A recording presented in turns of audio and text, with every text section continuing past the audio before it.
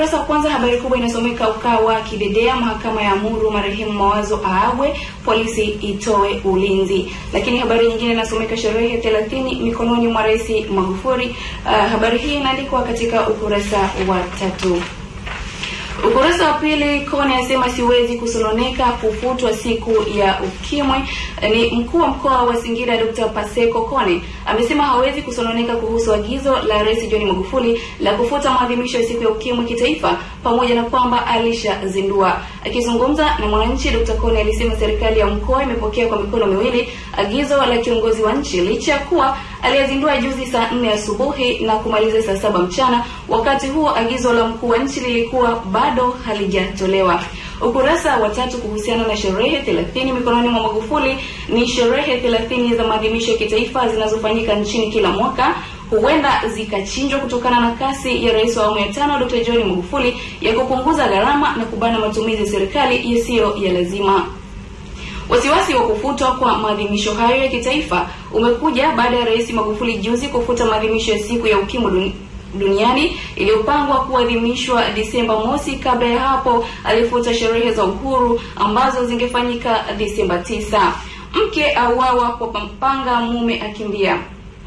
Mwanamke mkazi wa kijiji cha Mgunga wilayani Igunga Gama Jilala ameuawa kukatwa mapanga na watu wasiojulikana. Tukio hilo lilitokea juzi saa mbili usiku wakati mwanamke huyo akiwa na mumewe nyumbani kwake. Mwenyekiti wa serikali ya kijiji cha Mgunga Alsida Izengo alisema mwanamke huyo alikuwa ndani huku mumewe Chazi Sanyi akiwa nje anakula chakula, ndipo watu wawili walitokea naye Sanyi akawakaribisha chakula, lakini wakakataa, badala yake wakaomba maji ya kunywa. Ni katika ukurasa wa tatu.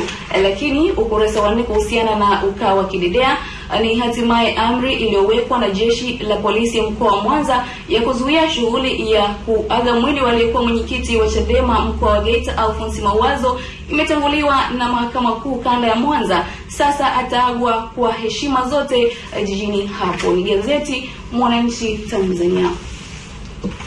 Gazeti Habari Leo ukurasa wa juu kabisa, habari kubwa ni kuhusiana na Magufuli amaliza kazi, rejea da, ateta na waziri mkuu, kiu baraza la mawaziri yaongezeka. Habari hii inaandikwa ukurasa wa nane, na habari picha hapa inaonyesha Rais John Magufuli akisalimiana na waziri mkuu Kassim Majaliwa wakati alipotembelea ofisini kwake Dar es Salaam mjana Marufuku kadi za Krismasi kwa fedha za umma fedha hizo zatakiwa zilipie madeni ya wananchi wa zabuni. Habari hii inaandikwa pia ukurasa wa nane. Ukurasa wa pili, Sheini atambia tuzo ya sheria ya watoto. Rais wa Zanzibar Dr. Ali Mohamed Shein amesema ushindi wa tuzo ya dhahabu iliyopewa sheria ya watoto ya Zanzibar ni kielezo cha matokeo mazuri eh, iliyofanywa na wengi kwa maslahi mapana ya watu wa Zanzibar. Ukurasa wa tatu, habari inasomeka viongozi dini ya Kiislamu wamfagilia Magufuli. Viongozi wa dini ya Kiislamu wamepongeza hotuba na utendaji kazi wa rais wa awamu ya tano Dr. John Magufuli na kutaka watendaji kutomwangusha. Aidha, wametakiwa wamewataka viongozi wa vyama vya siasa kuepuka kukuza migogoro midogo, bali wakae katika meza ya mazungumzo, kuepuka kuwapa nafasi wasioitakia mema nchi. Lakini pia habari nyingine inasomeka uamuzi wa kurejesha wajawazito shule wapongezwa. Wadau wa elimu wilaya Kahama mkoa wa Shinyanga wamepongeza serikali kwa kuona umuhimu wa kuwarudisha wanafunzi wa kike madarasani kuendelea na masomo pindi wanapopata ujauzito na kujifungua. Ni habari katika ukurasa wa tatu gazeti Habari Leo. Gazeti Uhuru kweli da, daima uh, ukurasa wa kwanza uh, Magufuli usipime apige marufuku uchapishaji serikalini wa kadi za Krismasi mwaka mpya siku ya ukimwi nayo sopu. Habari hii inaandikwa ukurasa wa nne, lakini tayari nimekwisha kusomea. Zanzibar mambo shwari. Hatimaye viongozi wa serikali na wa vyama vya siasa Zanzibar wamefikia makubaliano ya kurudiwa kwa uchaguzi mkuu wa rais, wajumbe wa baraza la wawakilishi ambao matokeo yake yalifutwa na tume ya taifa ya uchaguzi ya Zanzibar ZEKI. Mwafaka huo unakuja wakati kukiwa na mlolongo wa vikao vya maridhiano vyenye nia ya kupatikana suluhu ya mvutano wa kisiasa uliokuwepo visiwani humo baada ya mwenyekiti wa ZEKI Jecha Salim Jecha kutangaza kufuta matokeo hayo. Habari hii inaendelea katika ukurasa wa nne. Lakini rungu la washukia trafiki wa Dar es Salaam zaidi ya 160 wapanguliwa Kova, sema kazi inaendelea. Habari hii pia ni katika ukurasa wa nne. Ukurasa wa tatu, habari inasomeka jamii ya wafugaji yataka watendaji wamulikwe. Jamii ya wafugaji wameiomba serikali kuwachukulia hatua kali za kisheria watendaji wanaokandamiza na kuchochea migogoro. Aidha, wameitaka serikali kuipatia ufumbuzi wa kudumu migogoro inayokabili ikiwa ni pamoja na kusikiliza changamoto zao. Nikiachana na ukurasa huu wa tatu, ukurasa wa nne kuhusiana na Magufuli usipime Uh, ni Rais Dr. John Magufuli amezidi kubana matumizi yasiyokuwa ya lazima, ambapo safari hii serikali imepiga marufuku utengenezaji na uchapishaji wa kadi sikukuu ya Krismasi na mwaka mpya. Tayari habari hii nimekusomea. Ukurasa wa tano, RC da aonya watakao kaidi kujitokeza kufanya usafi. Mkuu wa mkoa wa Dar es Salaam Said Meki Sadiki amesema atawachukulia hatua kali wananchi watakaokaidi agizo la Rais Dr. John Magufuli la kufanya usafi siku ya sherehe ya uhuru wa Tanzania bara. Sherehe za uhuru ambazo hufanyika kila Disemba tisa ya mwaka zikiambatana na shamra shamra mbalimbali ikiwemo gwaride na maonyesho ya ndege za kijeshi kwa mwaka huu zimesitishwa na badala yake siku hiyo itatumika kufanya usafi wa mazingira. Hiyo habari inapatikana katika ukurasa wa tano wa gazeti la Uhuru. Nikiachana na gazeti la Uhuru, nalitazama gazeti la Majira. Ruksa mawazo kuagwa Mwanza ni kauli ya jaji, lakini habari hii tayari nimekwisha kusomea katika magazeti ya awali, lakini habari hii inaandikwa katika ukurasa wa nne.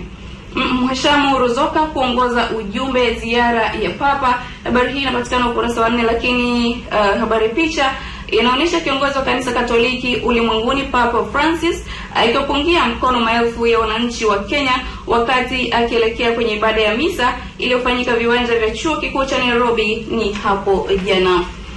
Ukurasa wa tatu habari inasomeka uamuzi wa DC Makonda waibua mjadala mzito ni wa kuwasweka rumande maofisa ardhi kumi Kinondoni. Uamuzi wa mkuu wa wilaya ya Kinondoni kuwasweka rumande maofisa ardhi kumi wa wilaya ya Kinondoni jijini Dar es Salaam umezua mjadala ikiwa ni pamoja na kwenye mitandao ya kijamii, huku wengine wakisema hana mamlaka hiyo.